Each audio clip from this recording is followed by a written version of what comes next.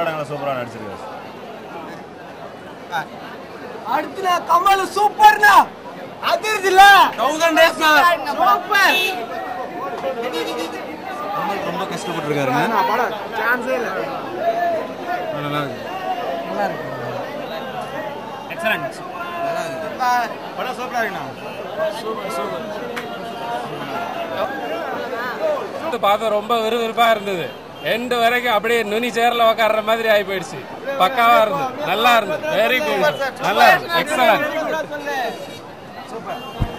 நம்மளால acting very good அதனால முடியாது. இன்னொரு கமல் பிறந்தால முடியாது.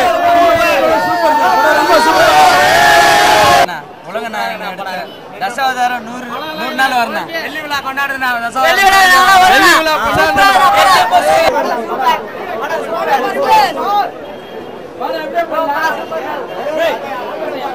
விழா சூப்பர் உலக அதிசயம்